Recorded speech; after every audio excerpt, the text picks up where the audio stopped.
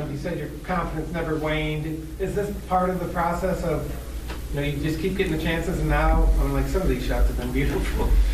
Yeah, I mean, yeah. I think I've been just having the same, same like uh, situations on the ice, but just right, right now it's it's going in and in early, early didn't go in, so that's good, good. Are you shooting different though? I mean, it seems like you're finding the spots too. Uh, maybe uh, I don't know. It's hard to say because there's different goalies always too, but. Uh, I'm getting uh, great passes from my line mates and teammates, so that helps a lot. When you when you look at Joe, what does he bring to your line uh, as, as a unit? Yeah, he's just uh, so great, great with the puck. He's like, he's never in a hurry. He's like, he can make plays. He can like tip the pucks from everywhere, and he's good in front of the net. And think he just fits there really, really well. And Jason obviously came on last season. You were you were playing well before him too. What does he add to that line?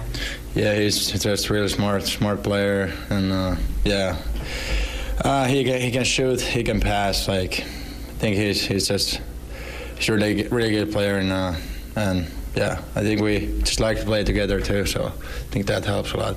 Are you guys different now that he's come back? Were you, I mean, were you missing him when he wasn't there?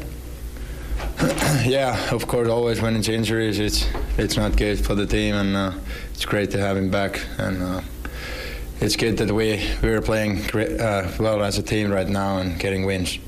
How big is it to play a team like Carolina? I mean, they have the best winning percentage in the league.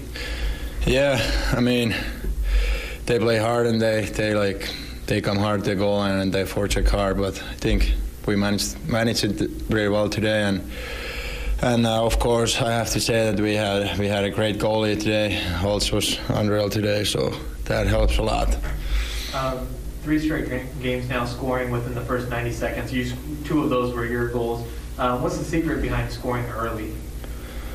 I don't know. I think we just have have been trying to get the puck deep and and go to work, and then there's been a couple bounces too. And uh, I don't know. I don't think there is any secrets on that.